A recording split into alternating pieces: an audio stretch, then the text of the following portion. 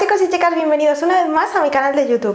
Esta semana os traigo una receta facilísima que he utilizado un montón cuando estaba curándome de cándidas. Como sabéis, hacía una especie de rutina matinal y protocolo para depurar mi organismo, mantener mi buena digestión y sobre todo limpiar mi intestino. Como ya os enseñé en un vídeo anterior, eh, yo me tomaba religiosamente el jugo o zumo de apio. Entonces lo primero que hacía es que tomaba el agua con limón, esperaba unos 20 minutos, después me tomaba el jugo de apio y cuando tenía más tiempo, media hora después me tomaba el agua de aloe. El agua de aloe no la hacía cada día porque ya bastante me parecía hacer el, agua con limón y luego el zumo de apio, pero sí lo tomaba unas dos, tres veces por semana. Otros días que no podía hacerlo por la mañana también lo tomaba a media tarde, entre horas. No es estrictamente necesario hacerlo en ayunas, pero sí que es bueno pues hacer toda esa rutina matinal para tener el organismo bien depurado y empezar el día pues con la digestión muchísimo mejor, sobre todo porque a mí las cándidas me afectaban bastante a nivel digestivo.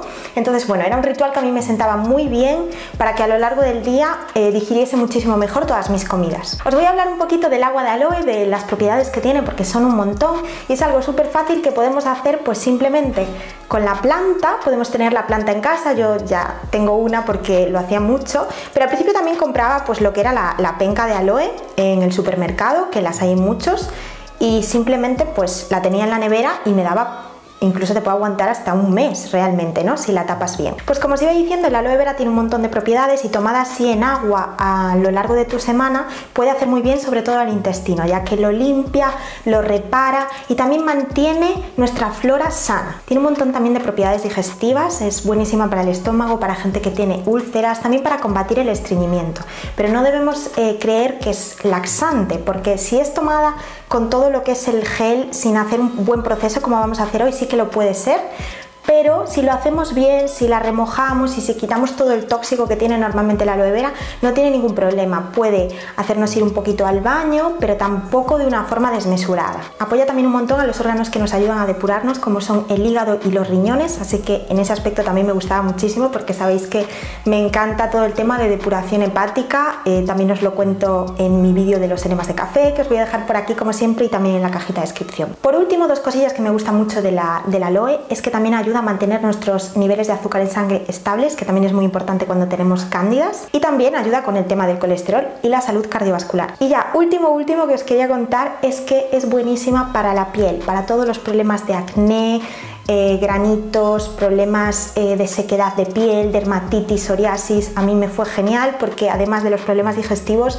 yo tenía una cándida que me afectaba a todo el tema piel, tenía una dermatitis atópica muy severa, eh, sobre todo en la cara y en las manos así que me ayudó también muchísimo con eso. Así que como veis son todo beneficios, es muy barata, fácil de hacer.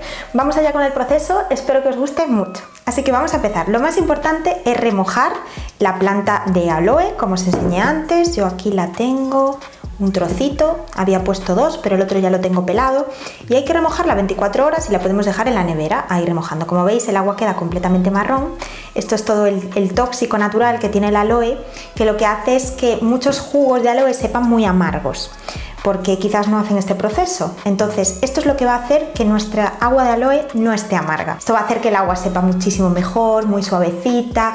Eh, ya veréis cómo es un gran cambio hacerla en casa porque realmente todo esto no nos lo vamos a tomar. Además, a quitarle todo este tóxico también va a hacer que no sea tan laxante y que pues no nos afecte a nivel digestivo. Así que yo aquí tengo pues otro trozo para otro día, que a veces lo que hago es hacer el agua de aloe para dos días y por aquí tengo pues eh, el que ya está pelado, que le quité estas partes que podemos utilizar pues para hidratarnos la piel, que va súper bien, sobre todo ahora en verano para el sol.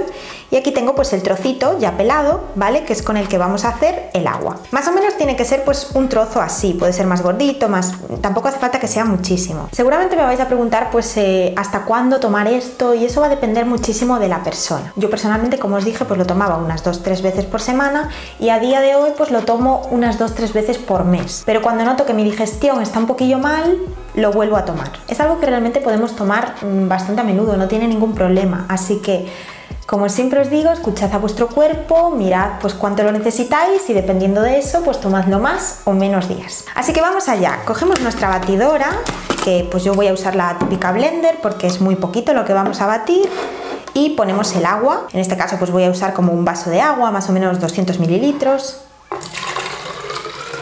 Ponemos el aloe, Tengo aquí un trocito y aquí otro trocito. Y simplemente tenemos que batir hasta que se deshaga perfectamente. Vamos allá.